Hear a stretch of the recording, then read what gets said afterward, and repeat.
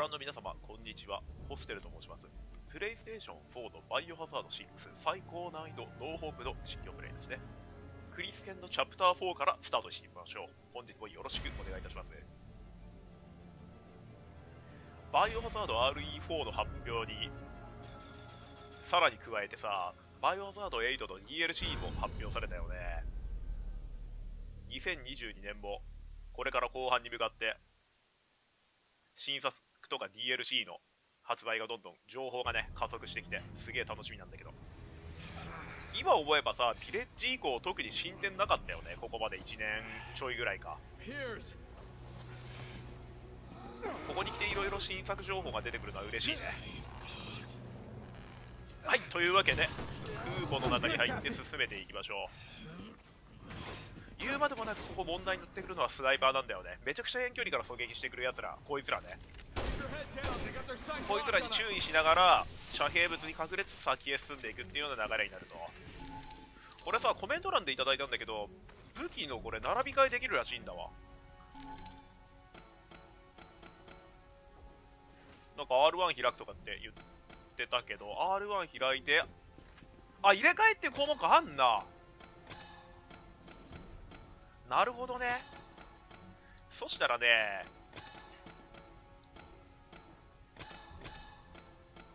まあ、このハンドガンを使ったアサルトライフルを中心に、左側にライフル系を置いて、で、高火力の近接武器を右側に置いておこう。これどうよ。で、このハンドガンの弾を使ったアサルトライフル中心に行くっていう感じ。で、このチャプターはここからね、あいつが出てくるのよ。テロエクスプロジア。あのー、上半身が爆弾に変異するやつね。あいつあいつあいつ。か芋虫みたいなのになるんで、彼一発撃ったら一定時間のうちに自爆するんだよね。この爆発にどこまで他の敵を巻き込んでいけるかっていうのがポイント。いける、いけるかがっていうのがポイント。日本語おかしくね。ここにね、スナイパーライフルあるんだけど、ピアーズの場合どうなんだろうね。落ちてる木箱とかが、正直言って、セミオドスナイパーの弾に化けられてもちょっと困るかなっていう感じ。だからここはあえてスナイパーライフル残しでアンチバテリアルライフル1本でいった方がいいかもしれない。クリスの場合はもちろん拾った方がいいと思うんだけど。いや、この武器入れ替えられるっていうのはすげえこれ。俺これ何年もやってて初めて知ったんだけど。でよく見たらさ、これ普通に入れ替えて文字が出てんのな、下に。全然気づかなかったわ。そもそもこのアイテムスロット画面でさ、この R1 でアームセレクトに移行するっていうのをやったことないからさ、ほとんど。こういう機能があるってこと自体知らなかった。マジであざす。感謝だわ、これは。自分の好きな位置にアイテム入れられるね。で、ここからスナイパーライフルを使って、遠くにいる。危ない。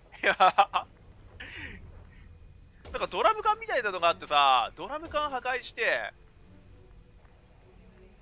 どこから撃ってきてるあれ？で、爆発に巻き込んで倒すことできるはずなんだよね。いやー、だけど、しかしながらあれはね、マジでいけねえぞ、これ。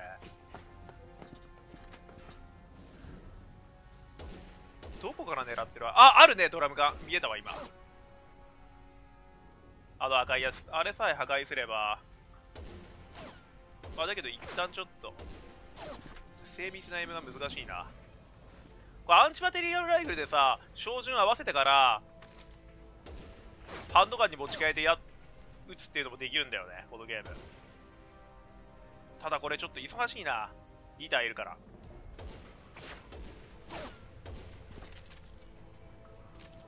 この状態で、全然当たんねえじゃねえか。手ぶれのせいかな、これ。仕方ねえからアンチマテリアルライフルでいくわ。これで多分処理できてるはず、何人か。で、あそこの方にも1人動いてるんで。もう1体、もう1体いるわ、ちょっと待って。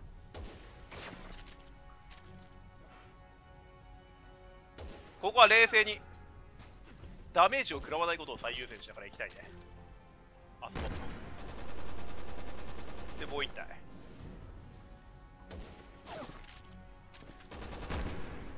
これでいいでしょただちょっとアンチバテリアルライフルの弾は問題なかで。あらかじめ処理しておけば問題ないでしょう。ダメージを受けないことを言う。さすがに。あくまで最優先でいかないとね。地味にスナイパーライフルの銃撃が鬱陶しいからあいつら3人さえ処理しておけば比較的あまり遠距離を気にせずにいける。ここまでで5分。めちゃくちゃ時間かかってる。スナイパー3台処理するだけでめちゃくちゃ時間がかかる男。まあまあそもそも遠距離の銃撃戦は。ちょ待って待って待ってそのないないないないないない。遠距離の銃撃戦はどっちかって言ったらねやっぱり心理戦みたいなところがあるからな。ここはクリスに任せる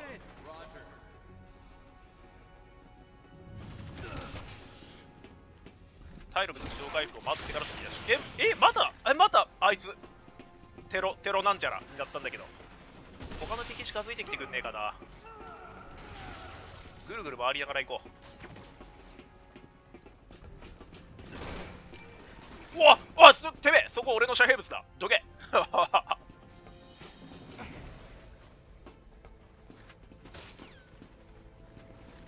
近寄らねああ右にいるわ。全然気づかなかった。やべえやべえ。また変異しやがった。すげえ変異するな。自爆テロ野郎に。まあクリスは体力無限なんでクリスを犠牲にして爆発してもらいましょう。あそこにいるやつどうするあ撃っちゃった ズームアップしようしようかと思ったら間違えて R2 押したわ。早速ガバいね。今日も。安定のガバタだわ。こっちから回り込めねえかんな。エイダのスポーツカーがあったところ。2体いるんだよな。体術しに行ってもね1体目に体術決めてる間に2体目に攻撃されちゃうんだよね。あそこは足だけ見え見えてるわあそこから。ええシャッと。標的武器はでかいね。少しずつ方を進めないとね。あーっと！危ねえ。ここは一マスも持っていかれたくない。まだ。ただ言うまでもなくこの空母の中はここが難所なんだよね。この広いところ。あグレーの弾って硫酸と炸裂か。今持ってるのは。ここではある程度ダメージを許容してもいいと思うんだけどね。このエリアの次からは空母の中の狭い通路をひた走っていくようなパートになってて道なりに進んでいく狭いところを進んでいくだけなんで。あんまり周りの動きとかも警戒しないでいいかなっていう感じなんだけど。上か。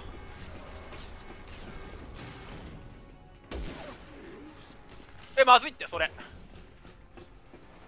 手長猿君いるじゃねえか。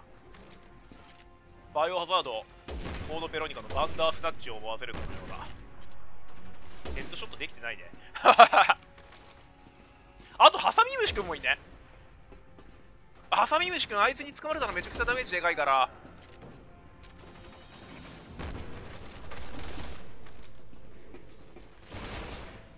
ヘッドできなかったら一発で葬れないっていうのがネックだわ。いや爆風範囲狭くないいやーいいやばい変異するな。弾あんまり使えんぞ。いやスナイパーが厄介なんだよな。そうでしょ。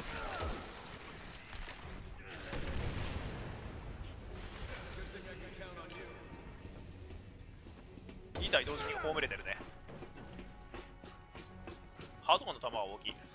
えトレディッシュ。いやとうとうアイテム圧迫してくるようになったな。スナイパーいるでしょまだ。いやいやああこいつ先自爆に変異させて。他のやつ巻き込む形でもよかったかも。変異のパターンってランダムだよな。こいつがこの変異するかっていうのはないとは思うんだけど爆発しないんかい。膝ついたら爆発するってイメージだけどな。つうかよくさナイフの近接戦に逃げるよなクリス。あんなやつにさナイフで立ち向かいたくねえわ。いつ爆発するかわかんねえもん。気持ち悪すぎるわ。よくやったアップでこっちに飛ばすんじゃねえバカ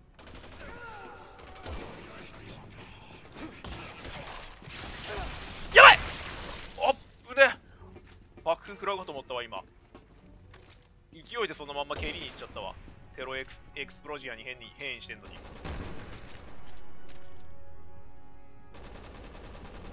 あなんかさなぎになったな。何？なまだいるし。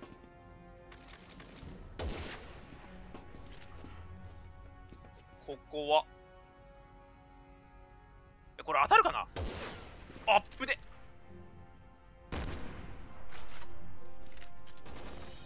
何変した？ああカマキリか。カマキリじゃない。なんだっけ？ハサミムシくんか。あいつ何気に体力高えんだよなハサミムシくん結局のところあいつどこに打てばいいんだろう？顔面に打つよりも足とかに打ってひるませた方がいいのかな？そもそも足に打ってひるむのかこいつ。あひるむんだ。ただ足のひるみ時間考えてもな。危ねえ。頭潰れない。今度はこいつね。あの頭開いて向かってきてる時にカウンターのタイミングがあるんだけど失敗したらマジで地獄エースになるからね。あナパドゥか。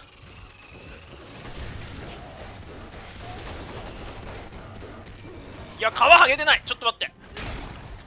およくやったクリス。それは偉い。皮剥いでくれたね。あとはどうする？ここは弾薬のたくさんあるショットガンで。ここ処理しとかないとめんどくせえかんな。ちょっと大盤振る舞いしちゃったけど。これは許容範囲ということで許してほしい。これ無限向きじゃないよね？ここ敵へ。俺あんまり詳しく知らねえんだよね。まあ、ぶっちゃけここ逃げ安定っていう部分もあるかもしれないけどね。戦わずにガツンと突っ込んだ方が結果プラスに働くっていうこともあるかもしれない。ここは。だそうなってくるとスナイパーの攻撃が厄介だからなんか後ろにいない？なんか一瞬動いたような気がするんだけど。疑心暗鬼になってるわ。とりあえず少しずつ砲を進めながらね敵を一気に追加で出させるとまずい。死ぬで。これで次かな？あこういうところとかもいけるんだ。なんかアイテムあるかな？本当はこういうところとかも縦横無尽に行き来しながら戦闘していくっていうようなマップになってるんだろうけどね。こういうところは来たことなかったわ。もしかしたらどっかに弾薬とかあるかもしれないね。今木箱あったみたいに、まあ、スキルポイントしか出なかったけど。マジでゴミ。敵追加される前に木箱あらかた壊しといた方がいいのかもしれない。後からになるとね真ん中の方からなんか出てくんのよ。戦闘機みたいなのが。そいつがずっと襲撃してくるからアイテムを集めるのもままなならなくなるんだよね。だから今のうちにぐるぐる回って入手できるものは今のうちにしておいた方がいいかもしれない。ほとんど何もないよ焼け野原だわ。アイテムの一つもねえわ。しかもスキルポイントしか出ねえしさ。正直言ってスキルポイントはいらねえんだよね。この難易度。もうアイテムねえか。先進んじゃうかじゃあ。あの辺とかも破壊できないのかな。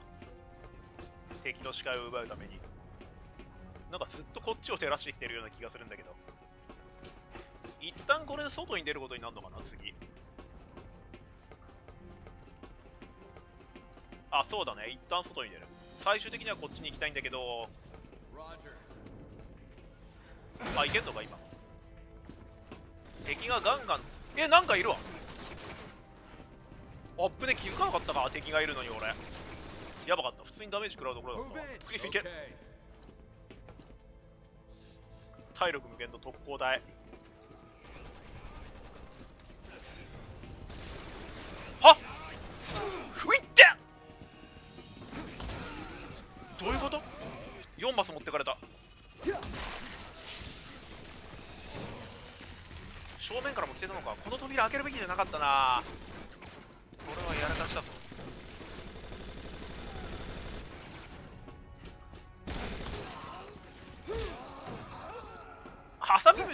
ムシ君来てるの厄介だわ。うわやばい。逃げるわ。ここは逃げる。いやこの体力持ってかれたのはいねえな。冷静に考えて。4マス？ふざけやがって。ハーブもねえのにさこれどうすんだ？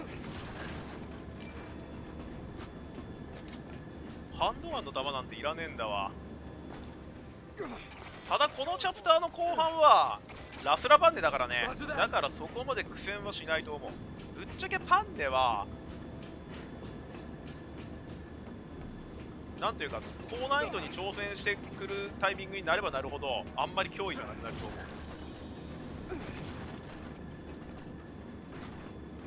あスキルポイントいいわ。撃たれたくない。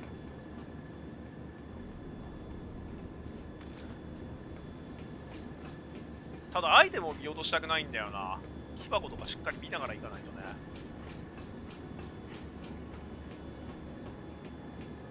あんまりもたもたしても撃たれるんだけど。いや早速ここまでのチャプターで陥ってきたような体力ひとまずお渡しきが早くも見えてきたな。ぶっちゃけこの広いフィールドお抜けるぐらいまでの辺りは辺りまでは体力最大でいきたかった。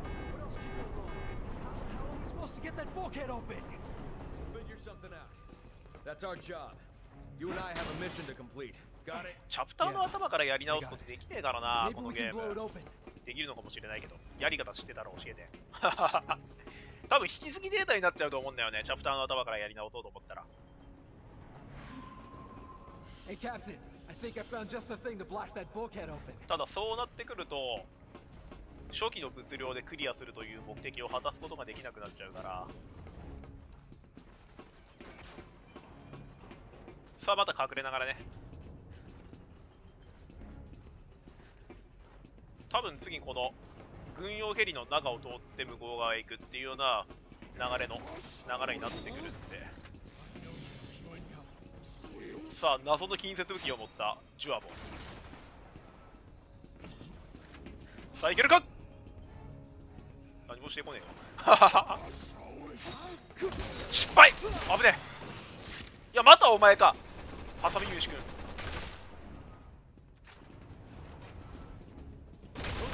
やれクリス。ただ NPC の攻撃ちょっと弱えかんなやっぱり。よくやった。えらい。向こうからもバズル嵐が見えた。あっちの方にもいるだろう。え？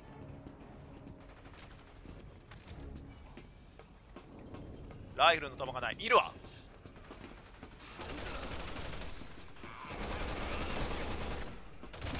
やばい！ダメージ多すぎ問題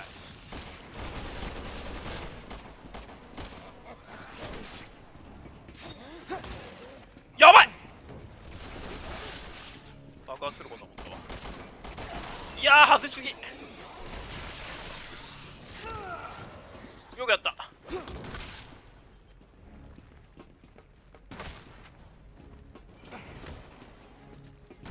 スライディングアタックで。そうすればフィニッシュブローができるようになるからね。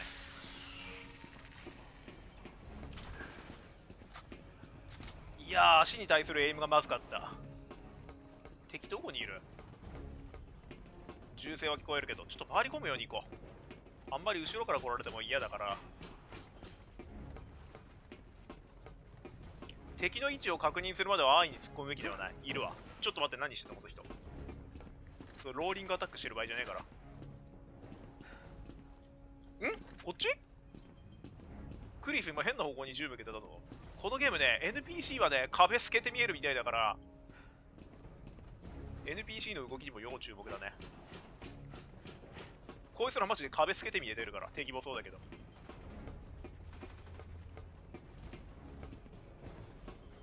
いるわ。いや向こうだってこっちの場所気づいてんもんな。このカバーアクションが打ってほしいね。このゲーム。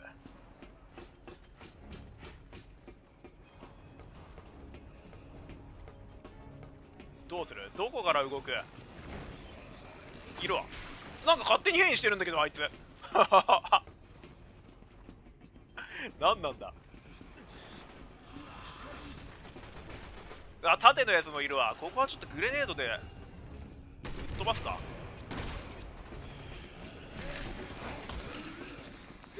よいしょ！いやグレネードマジで有用。一気に複数台ひるませることできるからね。弾大丈夫か？まだ結構ある。一応リローダーだけどしとかないとね。あの縦文字はぶっちゃけタックルでひるませるのが早いかも。引退だけの時はね。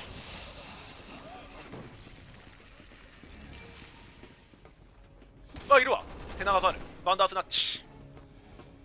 本当は近距離ならあいつもカウンターできるんだけど結構難しかったりする。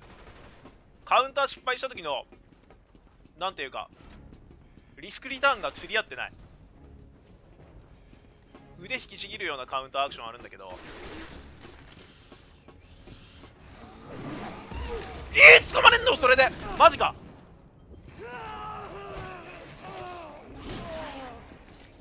今ので捕まれるとは思わなかったわ。じゃあちょっと一回終了するか。苦戦しと はいどうもご視聴ありがとうございました。